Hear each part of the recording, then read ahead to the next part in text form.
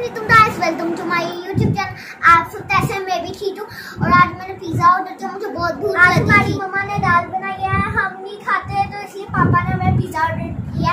और यह इतनी मज़ेदार ईद आप फन कर रहे हैं, इतना मज़ा आ रहा है। और आप फन कर रहे ना तो हमें कमेंट में बताएँ। और आप तो ईद पे बहुत मज़ा आ रहा है और हमें भी ईद पे बहुत मज़ा आ रहा है। ईद मुबारक। मुबारक। पिज्जा अब हम इसे खाने लगे